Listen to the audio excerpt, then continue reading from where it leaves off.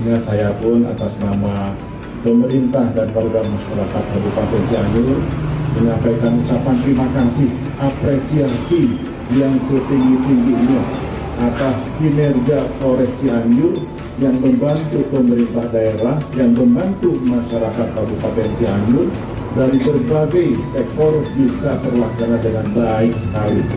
Bismillahirrahmanirrahim. Guest House Polres Cianjur saya nyatakan resmi dipergunakan.